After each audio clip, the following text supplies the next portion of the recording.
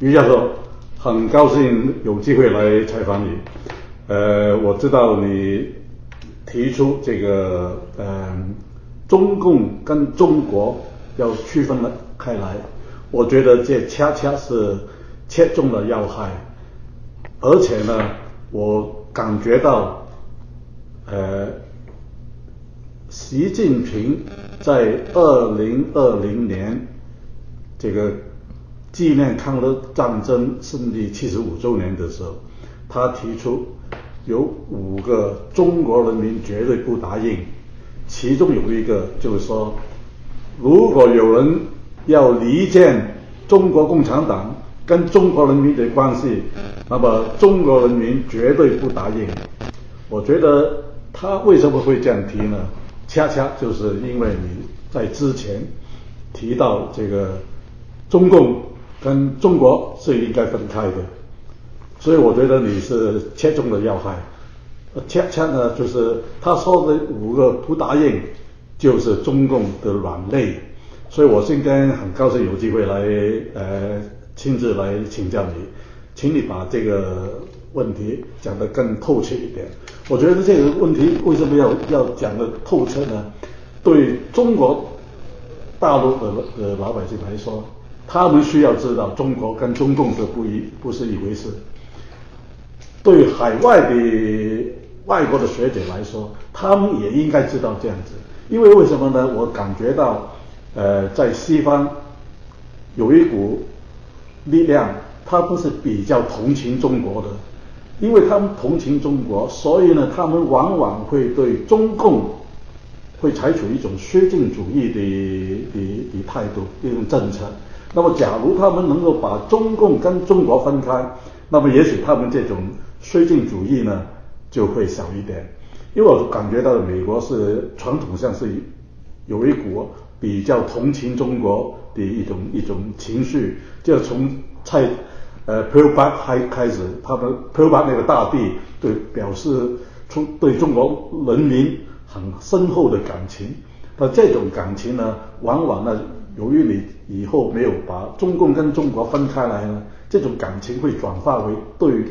对中共这个政党的一种绥靖主义，所以我觉得你这个区别很重要，无论是对中国大陆的老百姓来说，或者是对海外的呃政界学界的人来说，都是非常重要。所以我想希望你，请你把这个讲得更透彻一点，一点。对，呃呃，陈先生，谢非常谢谢你给我这个机会。那么，呃，你刚才提到这一点，就是怎么样，呃，这个中共和中国人民要分开，这个实际上是一个非常明白不过的这个大道理，呃，很多人都知道，因为因为什么呢？这就是中国的现实，是吧？中国老百姓他在中国国内的生活，他跟共产党的这个有根本的利益的冲突，共产党也知道这一点，所以说他实际上共产党他统治最。对共产党统治最具有威胁力的这个力量就是中国老百姓，所以说中国共产党他对中国老百姓的镇压管控是不遗余力的。我们经常讲，中国共产党的所谓的维稳，就是搞政治稳定的这些经费是大大大于他的国防经费，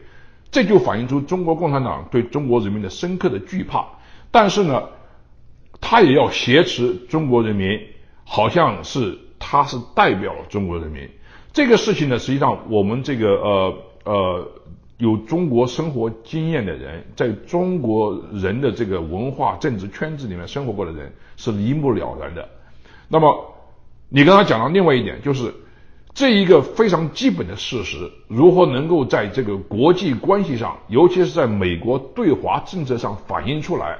这个是非常不够的。所以说呢，我能够呃。有机会进入美国的这个这个政府，对制定在制定对华政策上，把这一点拨乱反正，就是我们跟中国的这个交往，呃，要基于一个基本的事实，就是中国共产党它是它不是代表中国人民的。我们开始提出来的时候，是不是非常的这个这个明显的提出来？我们只不过是画龙点睛，点到为止。没想到我们这个一提出来，稍微点出以后。共产党的反应是非常剧烈的，因为这个正好点住了他的痛穴。那么我们就知道，那么这一点正好是他们非常这个这个害怕的。因为什么呢？这个呃中国老百姓对共产党的管控，实际上在深层里面是非常愤怒的。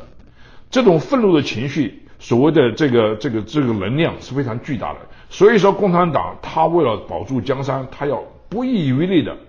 继续欺骗国际舆论，继续欺骗中国老百姓。啊，一般一方面把老百姓的嘴巴堵住，不让他们说话，把他们双手绑起来；另外一方面，他要说我们代表你。所以说呢，这个呢是一个是一个流氓政权的非常具体的特征。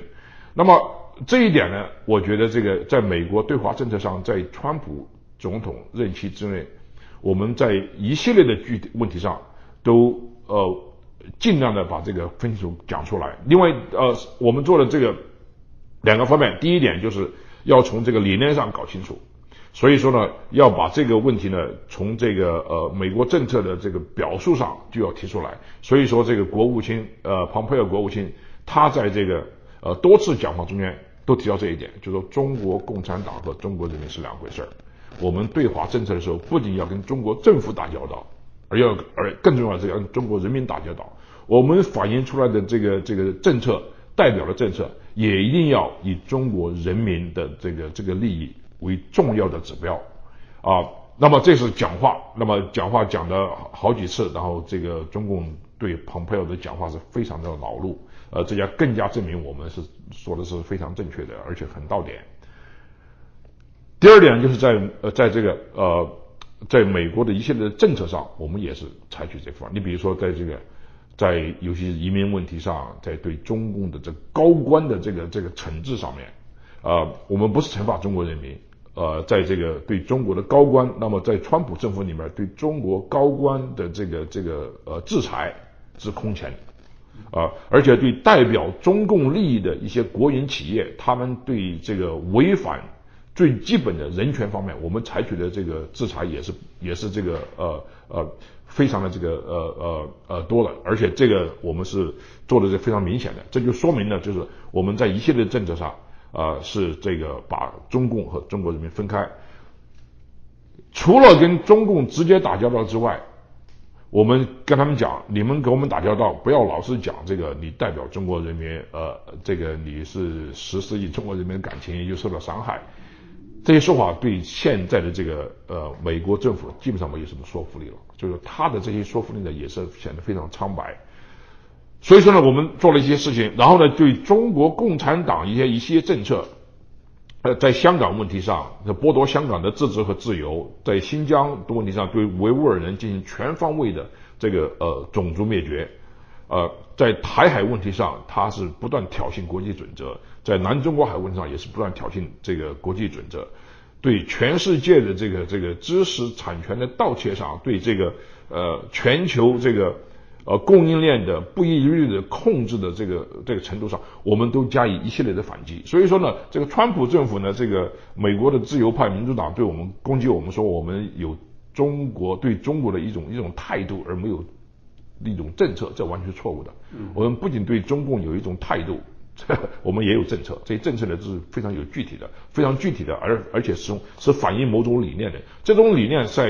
美国对华政策上七十几年，将近五十年以来，这是第一次，我们是拨乱反正。所以说，你刚才讲这个问题呢，呃，其实很多，但是你刚才讲的这个把中共和中国人民分开，这个呢是我们在理念上的一个非常重大的一个一个说明。嗯，对，嗯，对。但是我想知道，呃，您觉得，呃，刚才我讲了，从呃赛珍赛珍珠开始，Pearl Buck 开始，它的一个大地。影响了一整代这个美国人对中国人民的好感，对中国人民的灾难的同情。那这种对中国人民的好感跟同情，现在已经转化成为好像是有一股呃学在学术界也好，在政治界也好，产生一种对中共的施政主义。所以你觉得这个怎么样来解决这种这种情况呢？哦，这个这样子啊。就是说，这个呃，美国对华政策的主旨呢，它受到了呃非常这个深刻的历史的这个和文化的这个影响。第一个呢，就是美国这个立国呢，它是这个十八世纪呃这个启蒙运动的产物。启蒙运动就是它对什么呢？启蒙运动对对中国呢，它由于它要当时在欧洲，它要反对专制政权，所以它就用这个基本上一种幻想的这个方式，把中国当时的政治体制、政治理念和他的统治模式加以理想化。他把这个呃康熙、乾隆时期的这个康乾盛世，他把他觉得这是最理想的，是吧？是哲学家治国，然后这皇帝呢也是非常仁慈的，呃，也也也通情达理，啊，这个呢实际上对中国的这个现实呢，他是一知半解。但是这个对当时的这个在欧洲反专制呢，实际上起到很大的作用，啊。就是说，这个他们现存的这个制度呢不行不通，所以说他要引进一种非常理想化的从外面来的东西。这是这。那么美国呢是十八世纪启蒙运动的产物，他当时呢也受到这样的影响，所以对中国的这个政治统治模式，它有一种这个非常理想化的这个东西在里面。所以说呢，呃呃，而且美国呢，它不像英国，英国在十九世纪中期的时候，它跟中国呢，它有很多这个商业上的这个这个接触。他接触东西也很多，他从实际角度上来接触，他发现中国这个帝国啊，不是那么理想，有贪污，有腐败，官僚统治呢，这个非常的这个这个这个无效无能，而且是专制，所以跟跟闭关锁国，跟现代社会的潮流呢，基本上格格不入的。那么在中国呢，它有一个比较比较这个现实的对华政策。那么在美国的这个这个呃意识形态里面呢，它一直有一种这个反对欧洲的那么一个。那么一个思想和文化传统，所以他一直想跟跟这个欧洲的所谓当时的帝国主义了，呃，有不同的做法，所以他对中国呢一直是非常同情的。这种同情呢，它实际上是美国人民对中国人民的这个一种同情。对，对中国政府呢，他没有什么同情的，因为清朝政府都是非常腐败的，他们也知道。那么赛珍珠呢，它代表的一种思想潮流呢是。一种主流，这种主流呢有两个因素在里边。第一个因素就是十九世纪美国大量的传教士到中国去传教，传教士到中国去就是传教士的这个使命就是拯救受苦受难的人民。嗯嗯。所以他是以一种这个高度的文明来就是拯救未开化的人民那么一种东西，理念很好，动机很纯。但是呢，在蔡珍珠的笔下，中国的农民永远是非常消极的，是非常诚实，这个这个勤劳，呃。呃，但是呢，没有一种这个对自己的权利的一种主动的追求，没有这个这个呃对政治权利的一种挑战，这些都没有的。所以说，这这样子的话，也给美国的这种文化主流呢提供了一种心理上的安慰，就是我们可以去帮助受苦受难中国人民。那么，这种非常对中国人民同情呢，他忽视了一个另外一个就是很重要的问问题，就是呢，就中国近代史啊，它自自从五四运动以来啊。他有另外一种思想潮流，这种思想潮流就是什么呢？不是说永远是消极被动，然后这个任劳任怨、认同自己命运的那么一种像王龙似的那么一种呃农民心态。五四运动以来，大家都是就是在维护自己的这个权利，所谓德先生、赛先生、法治。中国现在这个有你说这个宪制啊，搞宪政，这个是搞了一百多年了。所以他这种思潮呢，在美国的这个学术界呢。实际上是没有被认同的。对这种这种宪政的认识，实际上，呃呃的人在美国的知识界是很少很少的。呃，除了当年的这个这个杜威啊，杜威先生是这个美国的这个哲学界的大师，是胡适先生的老师。他在中国去的时候，他在这个胡适当北大校长的时候，他在中国去看，他就看到中国呢，这个时代在变。不是像以前这个这个蔡珍珠啊，或者不是蔡珍珠写下，或者是传教士写笔下的那些中国的这个受苦受难、呃忍辱负重的这个这个农民，而是对自己的权利有一种主动诉求的一些一些中国人，跟世界上其他人都一样。所以当时他就提出来，中国的未来呢是在中国的未来就是联邦制，各省自治。就当时。湖南省的自治运动，这个胡适还这个杜威专门跑到湖南去看这个这个这个这个陈宝珍他们做的这个湖南自治运动，这个是中他说中国的这个这个未来就在这些地方啊。可惜呢，那个自由主义传统呢，就是刚才我讲到这个这个这个呢是在美国的政界学术界基本上是不受重视的。这是两个根源，一个是传教士的根源，一个是自由主义的这个根源。他这个呢，就是受到忽视。那么这一点呢，我觉得在美国的这个呃对华政策上面。他没受到忽视，没受到重视，那么这就是为什么这个在美国的对华政策上，它有一种这个先天性的理念上的不足，这个是跟文化历史传统有关系的。嗯嗯。那么美国具体的对华政策呢？从共产党上台以后呢，它受到影响，你有一种第三支的这个力量。这个第三支力量什么？就是说，这个是就是美国的左派。美国的左派呢，起源于美国的所谓的进步运动，所谓的 progressive movement。那么这些进步运动呢，他们是从美国中西部开始的，他就觉得美国呢是资本主义这个呃大垄断、大财阀垄断，那么农民的受苦。所以说，在他们的理念里面呢，一直有这个这个就是呃进步人士反对这个反动派。那么你看这些词汇，进步和反动，这都是这个受到共产主义影响的这些词汇。所以说，这些人像费正清这些人，他们就成为了这个美国这个三十年代、四十年代以来的这个美国对华政策圈子里面中国专家里面的一些主流。这些主流由于二战期间中美之间的这个军事文化、呃这个情报交流的这个不断深入，这些人大批涌到中国，所以他对用他们自己对美国的这个这个现实的一些看法及进步主义的看法，把中国这个问题套在里面。所以说，他就说这个农民。由共产共产党领导的农民是进步人士，国民党是反动派，所以他们看到这么一个大斗争，这样子的话，就把这个美国的对华政策现引入了一种歧途。这种歧途就是什么呢？就是说，美国的这个政策呢，一定要和这个进步人士站在一起。那么，什么是代表进进步人士的力量呢？那就是这个中国的老百姓，中国的人民，那么中国的这共产党。嗯，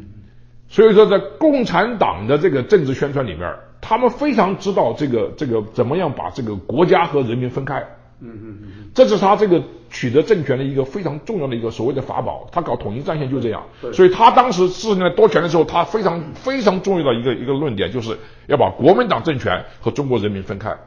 对，对，他自己掌权之后呢，如法炮制，而且做的做的如火如火纯纯青。炉火纯青，什么？所以这样子的话，那么我们就会反其道而行之，它就是一个反映社会现实。那么现在美国的这个由于由于左派这个非常肆虐，对这个美华政策，对美国对华政策呢，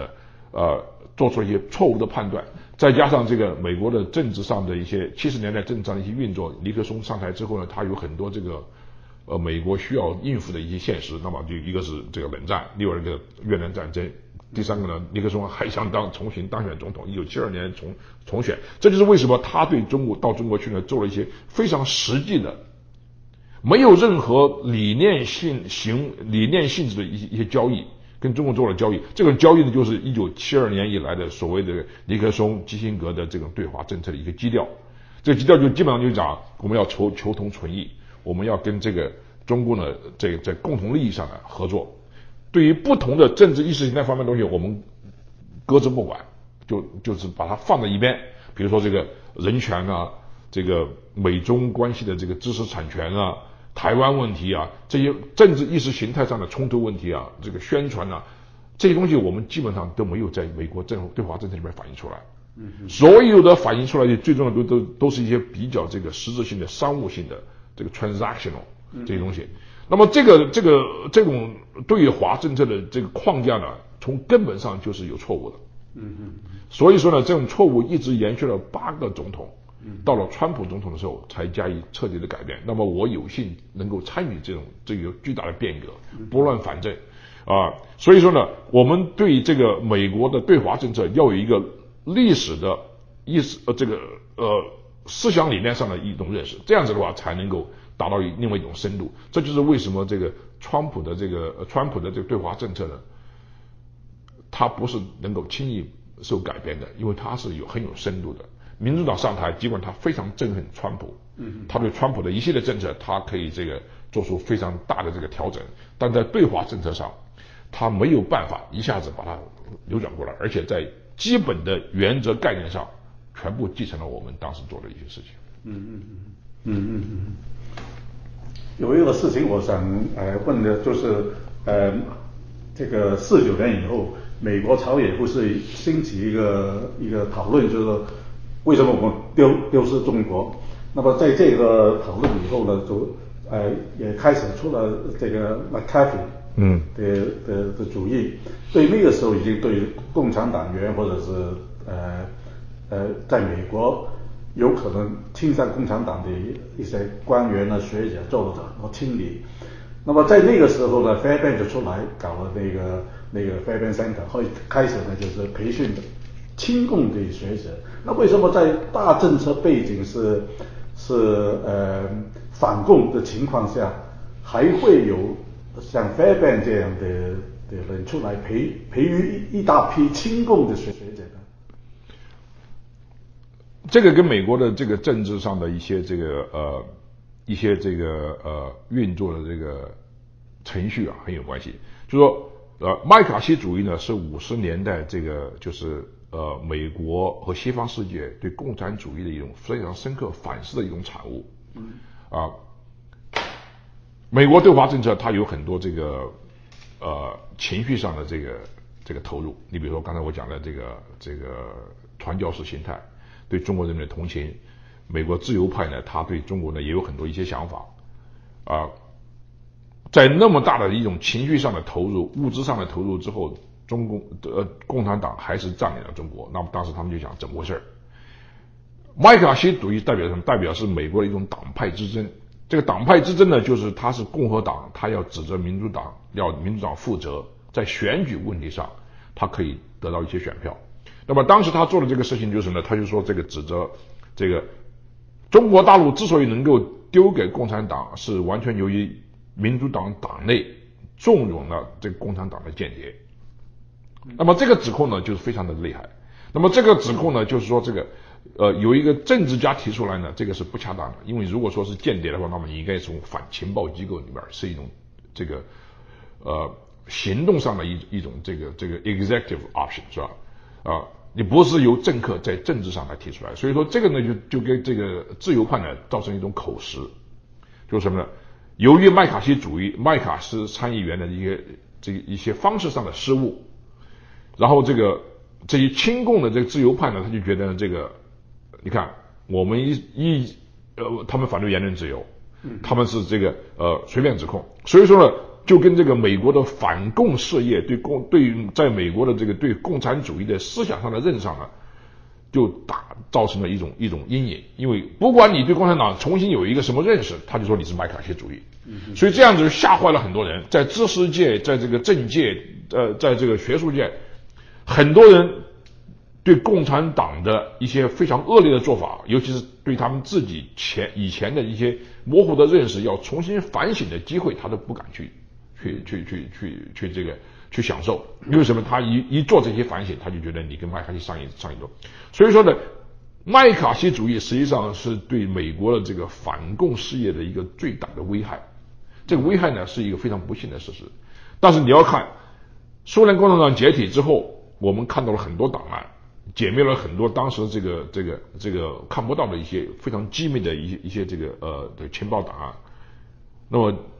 从事实上来讲，麦卡锡主义当时的指控，这些名单上，他基本上都是对的，不是说百分之百对，他的指控都是对的。就是他这种指控的形式，在政治上想给自己捞一把，这个呢，实际上是非常非常呃呃呃不明智的，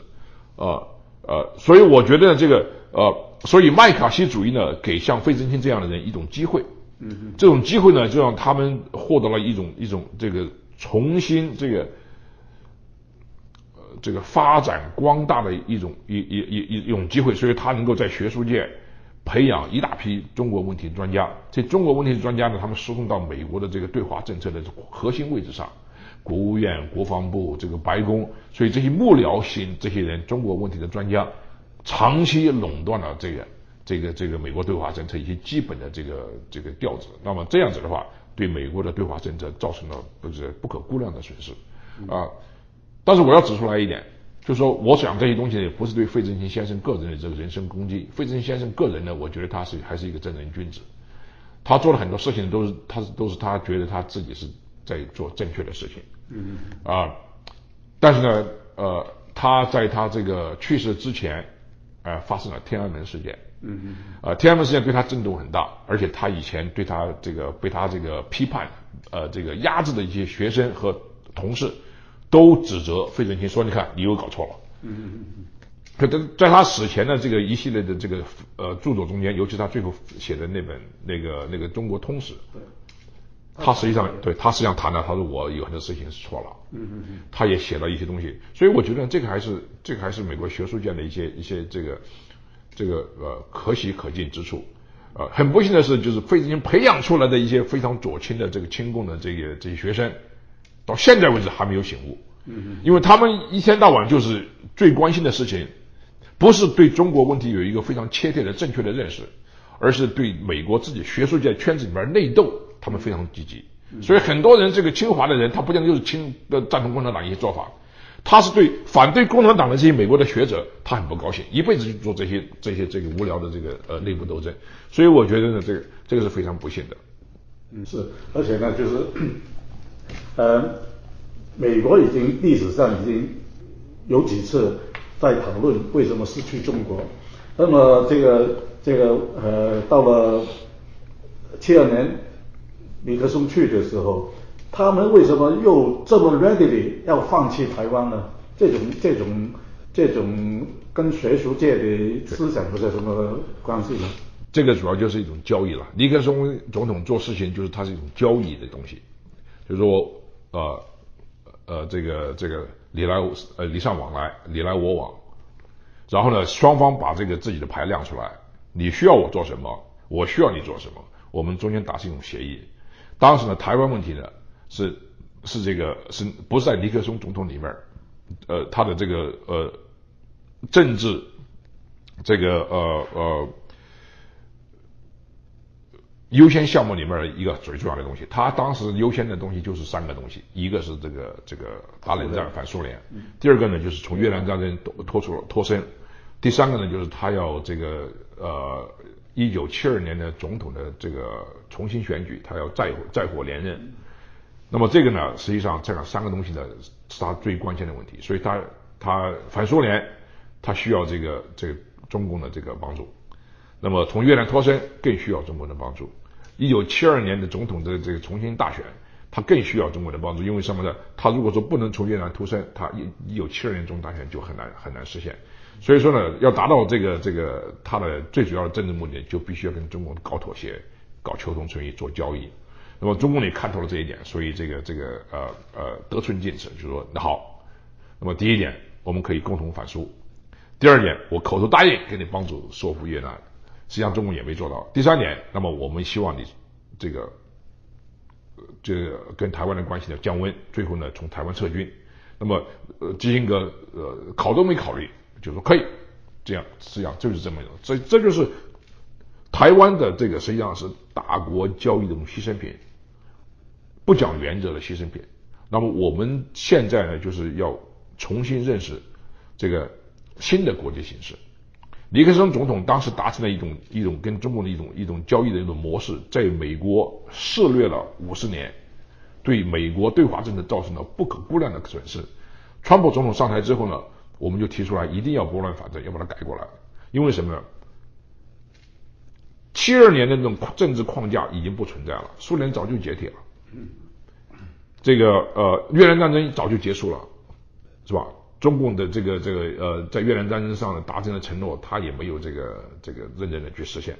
第三点，尼克松一九七二年选举早就成了成了成了过往的事实，而且正是因为尼克松对一九七二年的呃呃重新选举呃过分的热情，最后他被迫被迫辞职，做了一些非法的事情，水门事件就是这么造出来的。所以说呢，由于这个一九七二年的这种这种。中美关系的基本框架根本就没有历史呃环境的这个必要性，所以我们要改变。那么新的事实是什么呢？新的事实就是什么呢？就是呃，中美之间它的这个交易呢，已经完完全全是百分之百的这个扩大了，根本就不限于在这这个国际政治上的一种一种权益交际，它涉及的领域非常之广，不仅仅是这个这个大国战略。像这个韩国，像这个北朝鲜的这个这个核武器的问题，像伊朗的问题、叙利亚的问题，除了这些之外，大国的一般呢是通常的国际政治，中美之间的交易还有非常深刻的经济上的交往，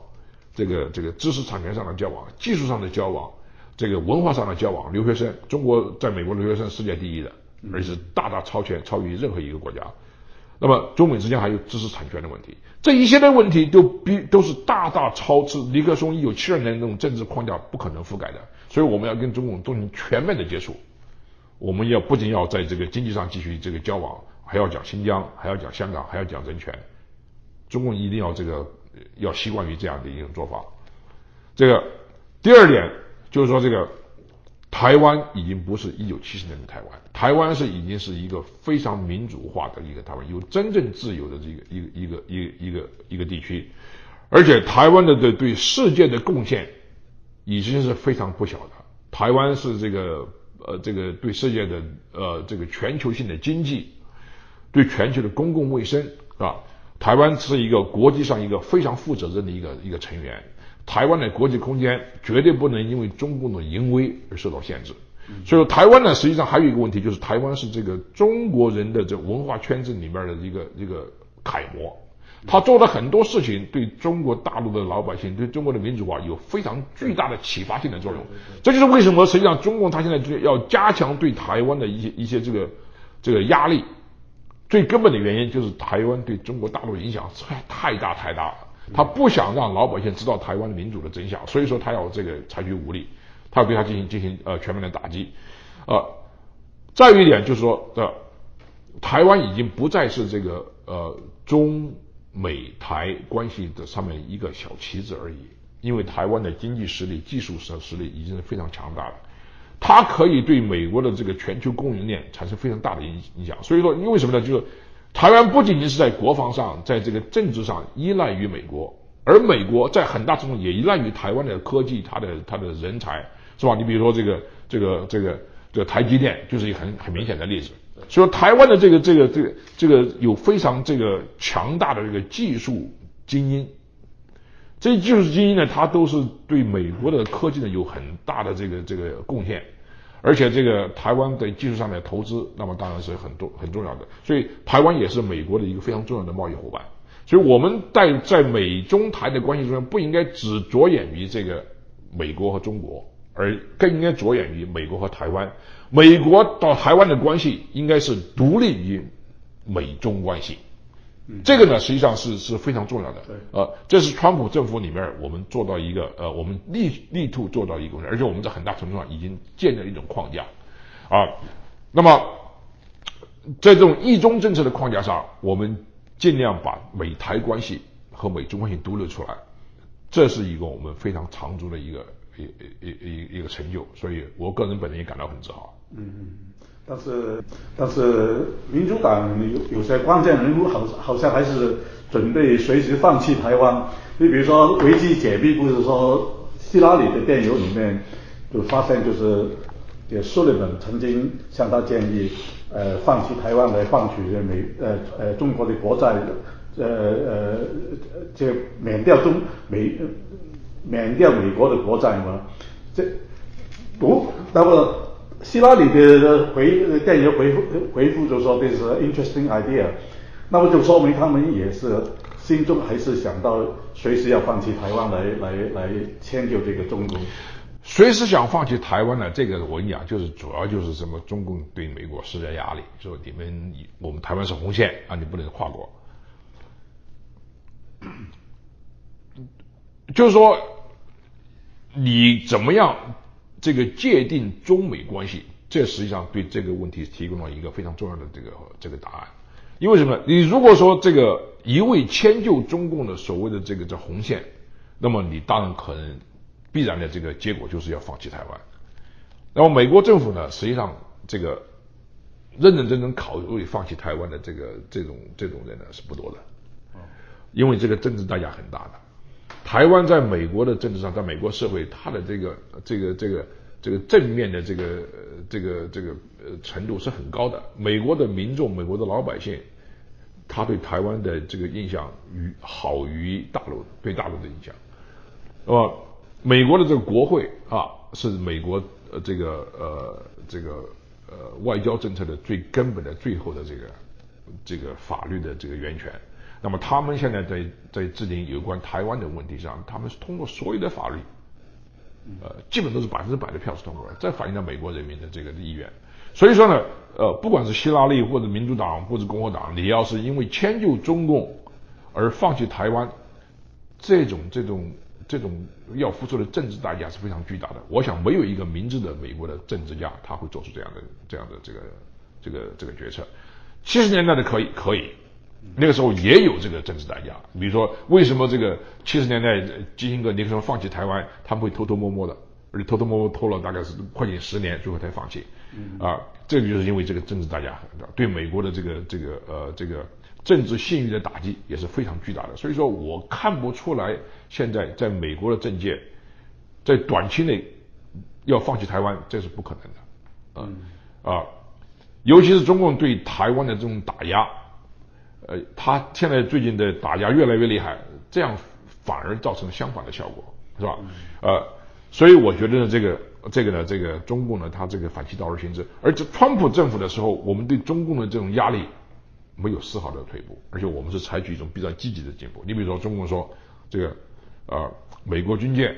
啊，一定不能这个。透穿过穿越台湾海峡，那么在川普政府以前，我们就是也穿过，但是每次呢都非常照顾中国的感情，而且这个找很多借口啊，我们因为天气原因，我们也不得不改道。那么川普政府的时候，我们根本就不理睬这样，我们说这个台湾海峡是国际海域，国际海域任何船只就不需要任何国家的这个这个这个允许，那么我们就穿美国军舰穿越了台湾海峡，不止一次，不止两次，不止十次，不止二十次。几十次，嗯，这样子的话，我们一做，那么盟军的这个军舰，他们也随着做，因为这是国际海峡，这是这个是名正言顺的。那么我们实际上现在已经把国际海峡国际化了，台湾海峡国际化了。台湾海峡国际化对台湾的防御是非常重要的，嗯嗯，啊，那么我们就可以随时在那边这个这个游弋，是吧？这个呃，这样子啊就可以，就像呃，这个就是造成一种一种实际上的这个呃这个呃这威慑力量。这个是很重要的，这个是天经地义的啊！我们这样一做，那么美国一领头，一展示他的军事领导地位，全世界的民主国家都跟进，甚至连北约他也跟进。北约他在这个破天荒的在在自己的这个正式的文献上说，台海地区的这个和平与安全也是北约的这个这个这个考虑。那么这样子的话，就是说中共它实际上是非常孤立的。你刚才提到这个。中共为什么对这个我们提出的这个把中共和中国人民分开，呃，反应如此的剧烈？其实上有一个最最根本的原因，就是中共他自己也是感觉到非常的孤立。嗯，这种孤立呢，已经形成了一种，已形成一种内心的巨大的恐惧。所以说呢，我们一说中共跟中国人民分开。他非常害怕，因为实际上中国人民对共产党的这个这个这个仇恨，对他的这个反弹也是非常巨大的。嗯，这个呢是任何事实都掩盖不了。你看共产党现在这个他自己他就有点都好像有点这个这个这个这个就坐不住了，他非常害怕老百姓起来，尤其在技术发达的今天，啊，已经不像以前那样，在一个地区一个省市一个市发生的事情，不可能完全的捂住盖子。嗯嗯嗯，现在在中国发生一件小事情，那么全国都知道。嗯他中共对付的一个唯一的办法就是高压、高压、高压。嗯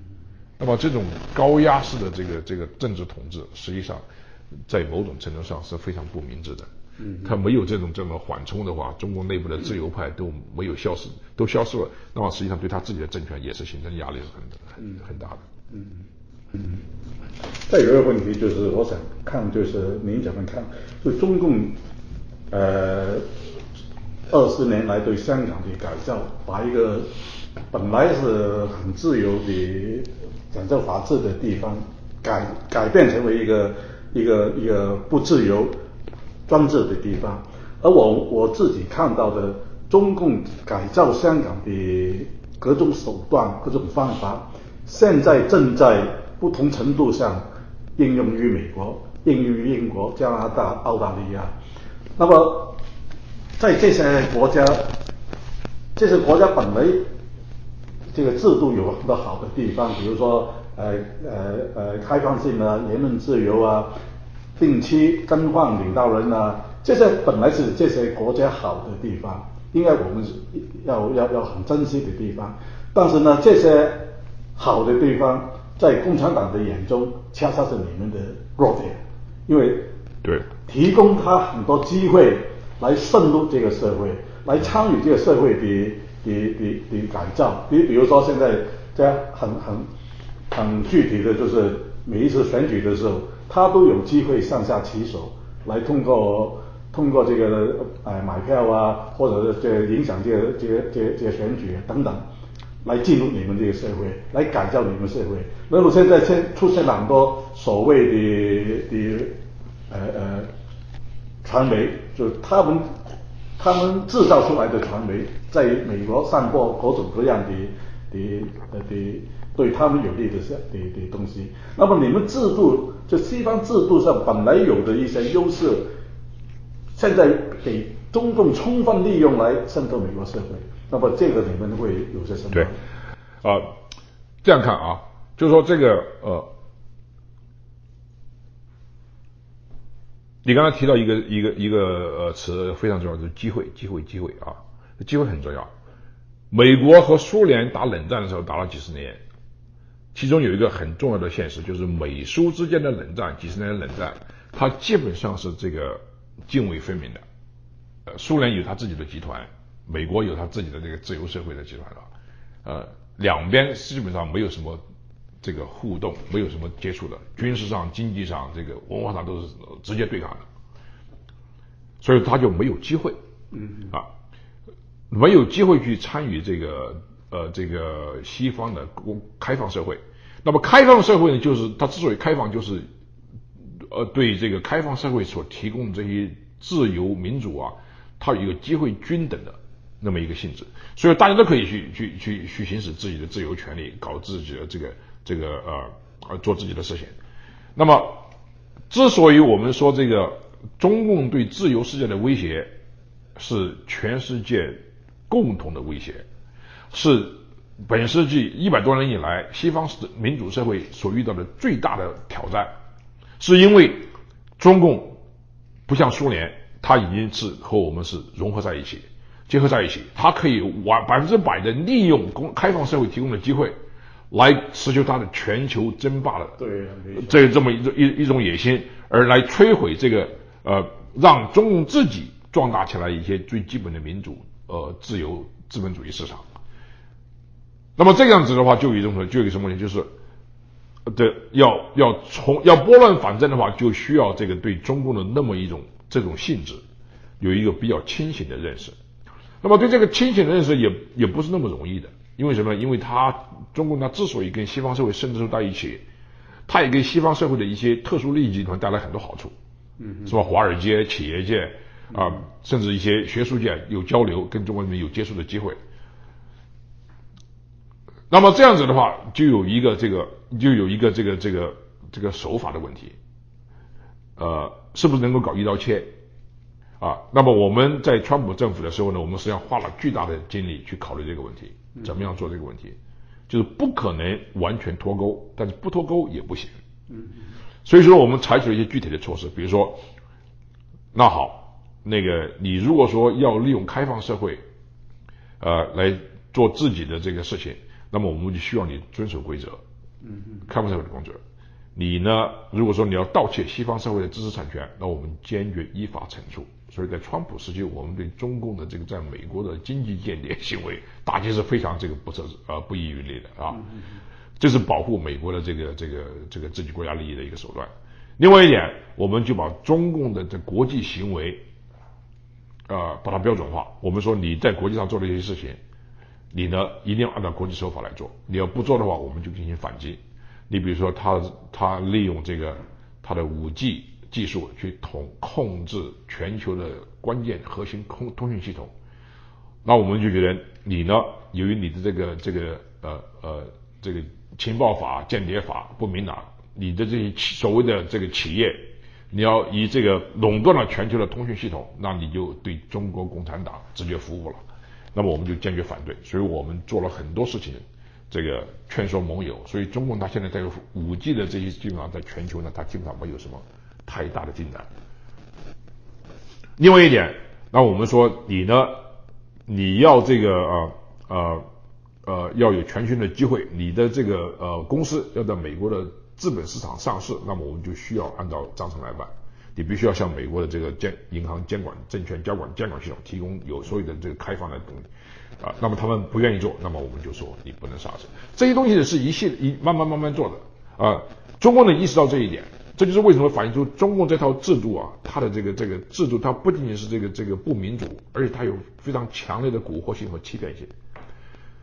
对这种欺骗性最大的这个这个呃呃转变认识的一个势力就是香港。那么香港实际上当然是非常这个呃一个大悲剧啊，实际上对全世界有非常重大的政策上的这个影响。因为什么呢？由于这个中共对香港的自治、对香港的自由的剥夺，而且剥夺的那么残酷无情，那么我们当时在政府里面做的事就是我们要对中共的一系列的一些国际承诺要重新考虑，嗯，包括对台湾的炒作。所以我们也长期这个也也也参与了对台湾政策一些重新划定的一个，这就是根据香港来的。如果说对香港的问题呢，它对香港自由的剥夺呢，也对台湾的政治情况产生了巨大的影响。没有香港这个这个这个变化，那么民进党它的这个台湾的这个名气就不会那么高，因为台湾的民选政府对香港的自由的剥夺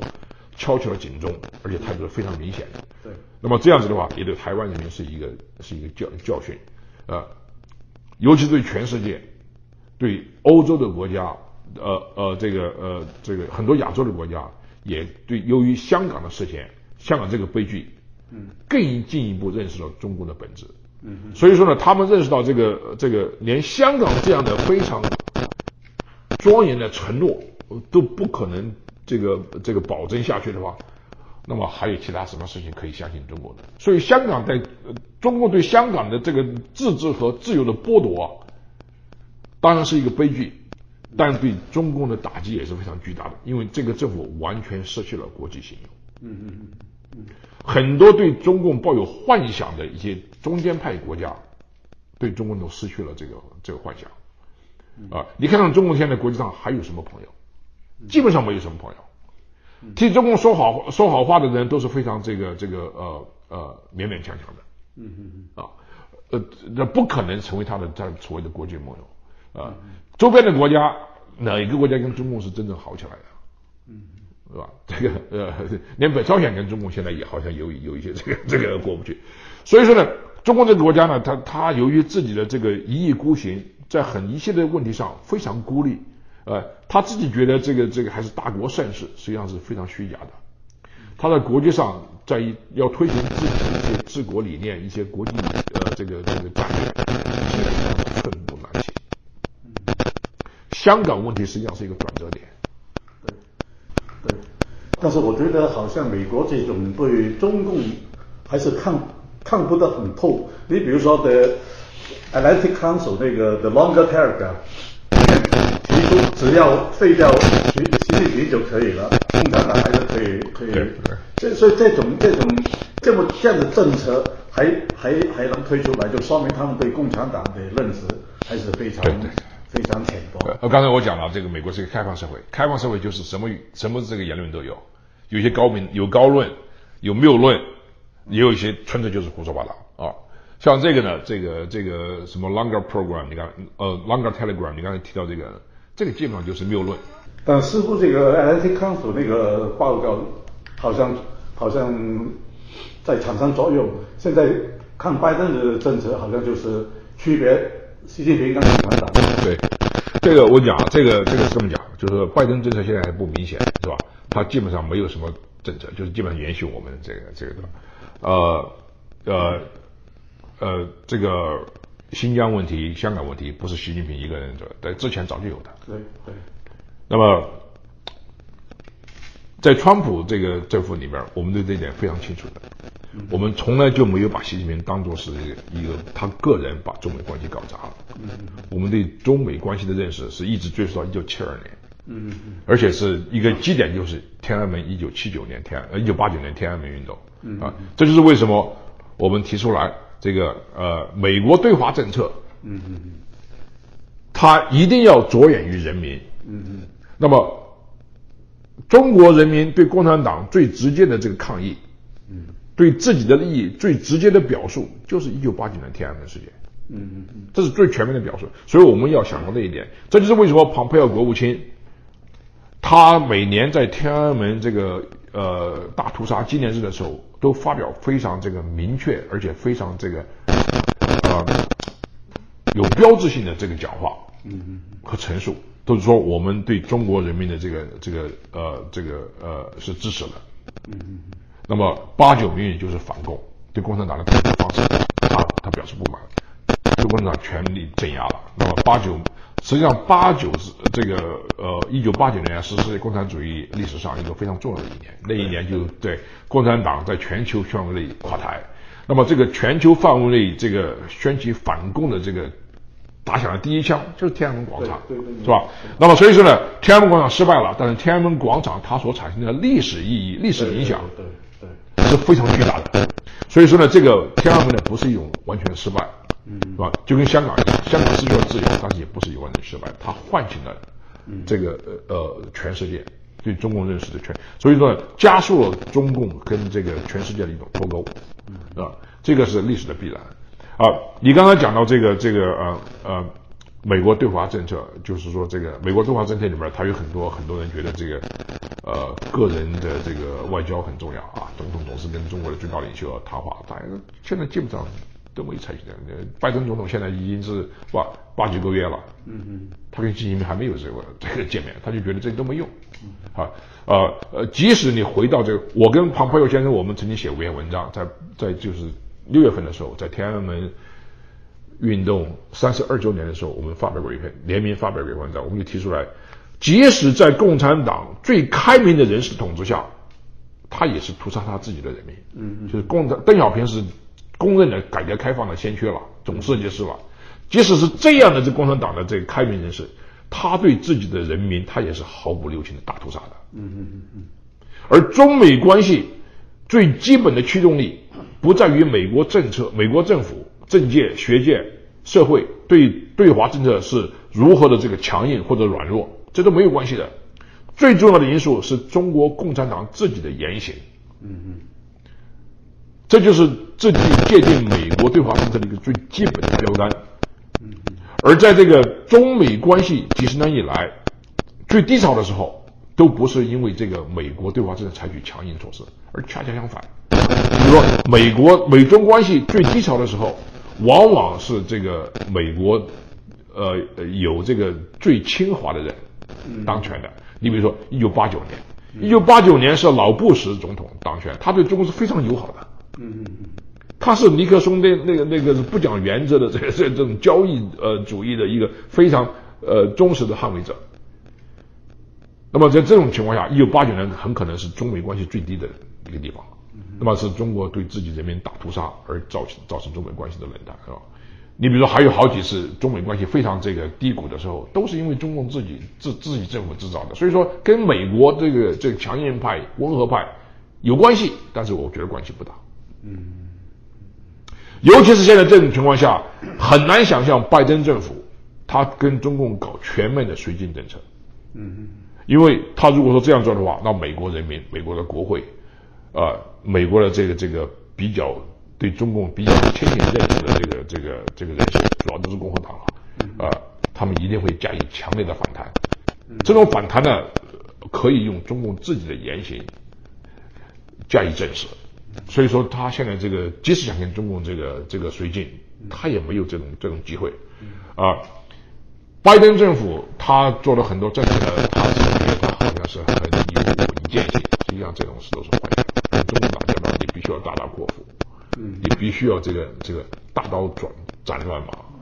他说他现在说他我们要跟中共要有合作，要有竞争，要有对抗。是的。对，你要有合作，有竞争，有对抗，这不可能的。中共这中共是说，你要么你跟我这个合作，要么你你就不跟我合作。所以这个开里去，我都不知道他他干嘛。对，这个完全是。但但是呢，这个慢慢慢慢，这个给他们一点时间，他们也会清楚 的。所以我对这个这个中美关系的这个前景呢，我是抱乐观态度的，因为我们打好了一个比较好的基础，嗯啊，一个基本的框架，这框架是很难扭转的，呃呃。有没有流被扭转过来的这个可能性？有，但是那个就是后习近平时候了。在那个时候，我们也会强调，这个中国共产党的本质不改变，不管你是改革派什么这个保守派上台，嗯，中共这个这个这个烂摊子都会是世界上的一个重大的威胁。对，所以说现在这个这个这个对中共这个这个很多很多人士啊，呃，的就是包括很多香港的朋友，以前对中共就是非常有这个幻想，他们在不同程度上都卷入了中共的派系斗争里面之后，他们站队站到了这个改革派一边，然后反对保守派，是吧？对，这个对他们都是很有教育的东西。中共内部从本质上来讲，保守派保守派这个这跟改革派，他当中都一样的。最终都是是共产党的执政，共产党的垄断，共产党的独裁，对，而且是以中国人民的切身利益为系为代价的。所以这样子的话，我觉得这个这个这个一代一代人他已经觉醒了啊啊，这个啊对历史潮流最乐观的这个后果就是中共内部的，即使说出现了这个改革派，嗯，那么这个改革派的领袖。他要认清世界潮流，嗯，然后改弦归章，放弃共产党，放弃共产主义，嗯嗯，然后实行真正的民主自由，在历史共产主义的历史上，真正有一个人做到了，那就是戈尔巴乔夫，嗯，啊，那么中共现在在意识形态上，左派、右派、中派、改革派、保守派，都一致的把高苏戈尔巴乔夫看成是一个大败笔，看成是一个共对共产主义、对社会主义事业的一个叛徒。嗯嗯，所以说我看不出来中共内部有任何改革，呃，真正的改革，真正的改革派，这是很难的，很难的。呃，即使有，也会出现像这个像胡耀邦、赵紫阳啊，他们有政治理想，但是没有魄力。嗯嗯，没有魄力的根本的原因就是他没有把自己的这个政治理念和中国人民的利益联合起来，他背后没有这个呃呃这个这个人民的支持。不像这个当年叶尔钦这样，叶尔钦他是不仅是在中共政治局里面这个这个唱反调，他关键的问题他很快的有和俄罗斯人民站在一起，所以说他站在坦克上做指挥，他站坦克指挥，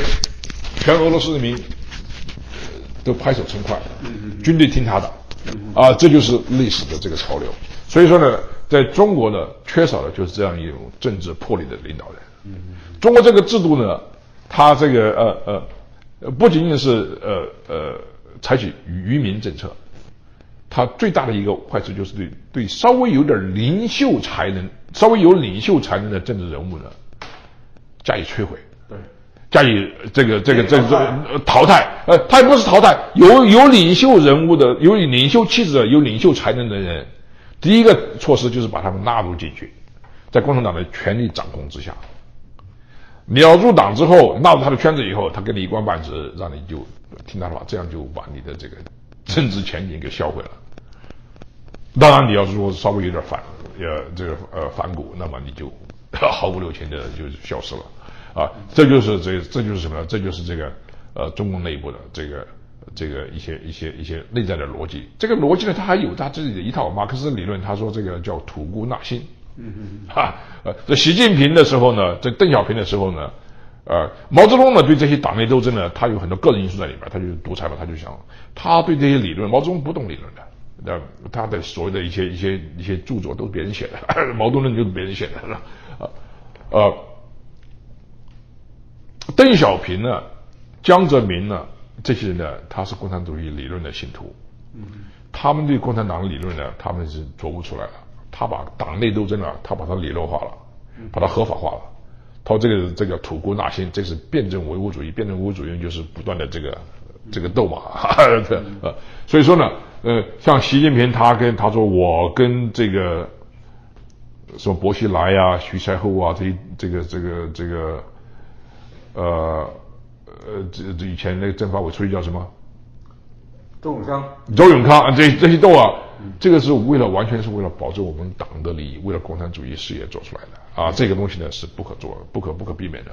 他把它理论化、合法化了啊。所以说呢，所以说我觉得这个中国呢，这个最需要的就是什么？就是体制外的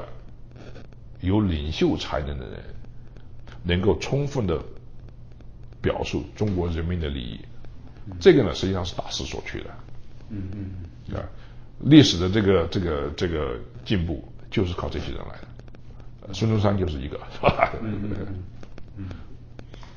嗯。好，今天谢谢谢谢你。